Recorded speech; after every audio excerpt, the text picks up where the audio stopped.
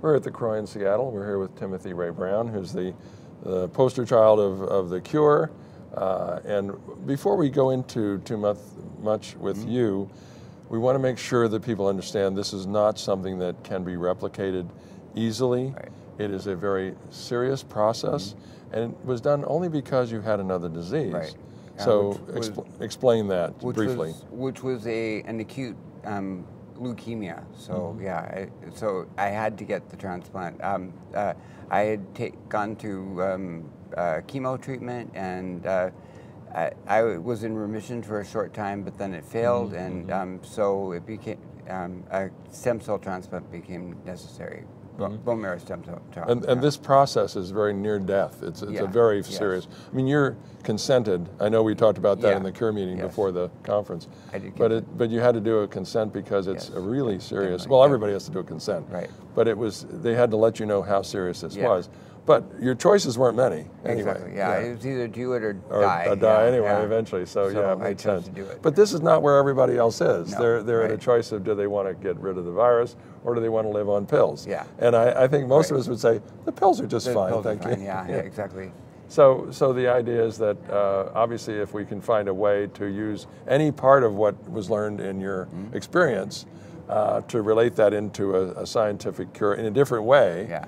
that would make sense. Yes. But but I think some of the things that we are um, we're experiencing here today is that it's just a little beyond your 12th and a rebirth, yeah. if yeah, you were, exactly. as it were. Yeah. And we had that celebration over at the library. Tell yes. me how you feel about that um, experience. The, the, celebration was wonderful. Um, I had in the back of my mind that this uh, current news is coming out because I um, mm-hmm. it was embargoed. It was supposed to be embargoed until today. Uh, from a speech that's going to happen like in about an hour. Mm-hmm. And uh, so, unfortunately, um, the news was released early, um, and uh, um, so everybody picked up on it. And, uh, and so, um, the New York Times had planned to run this story after it was announced, but they ran it early. They ran it yesterday. Um, and mm-hmm. uh, I suddenly started getting lots of calls to do interviews. As one would one would imagine. Yes. Yeah. How does it feel to be number one when there's a number two? Um, and, and, but we're good. not we're not there yet. We're right. talking about this other mm-hmm. situation is looking okay. It's yeah. in remission.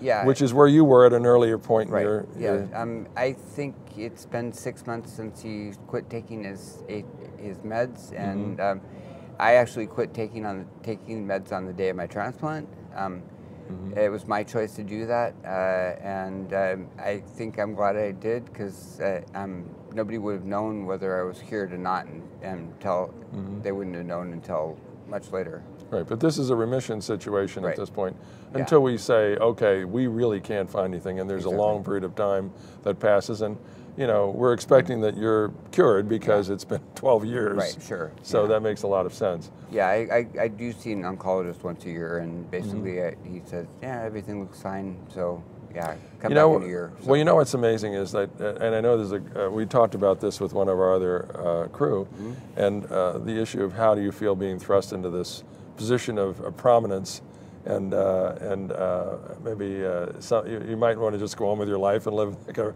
every other person, but uh, but you like you're now thrust into it yet again because you're number one of number possibly number yeah. two.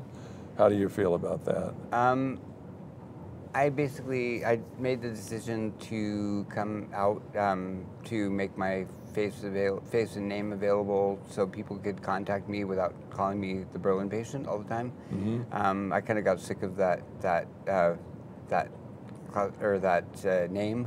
Mm-hmm. Um, I mean, it's okay if it's used every once in a while, but I I don't want to always be um, referred You'd like to. to get shed yeah, that, yeah. that that hey, branding. patient, come here. shed that branding. Right. Yeah. You are a real person. Yes, you have a real name exactly. and so forth. Yeah.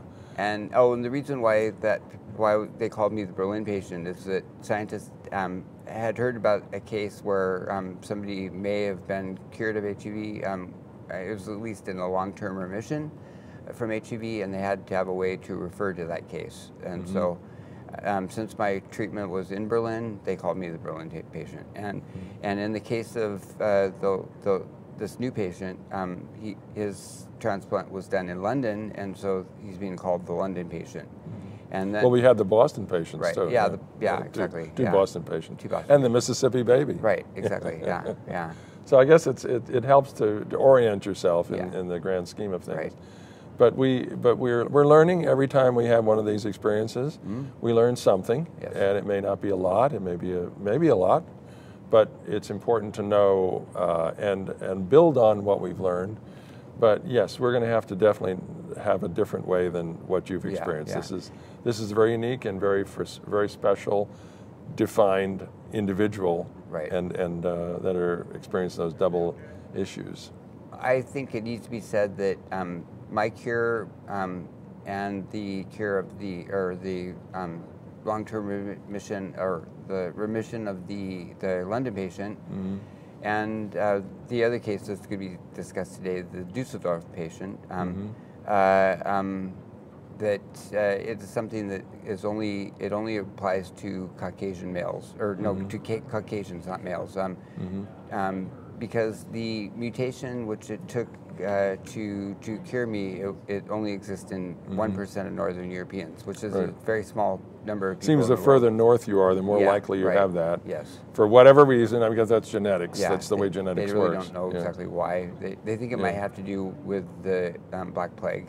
Mhm. Yeah. Right, right, right, right. And so, uh, yeah, so So yeah, so how uh, you're you're getting on with your life? I keep on remarking to your friends and and and my colleagues whenever we meet and talk that you keep looking better and better, Thank and you. that's all what we can Yeah, hope. that- that's what I want, yeah. But there's a lot of but there's a lot of pressure on you to stay healthy Yes, now. yeah, so definitely. and so you live here in Seattle. no, I live in, in Palm Springs, California. Oh, you live in Palm Yeah, Springs. yeah. I was going to say, do you ever get to take the uh, Um, the long walks up the hills there?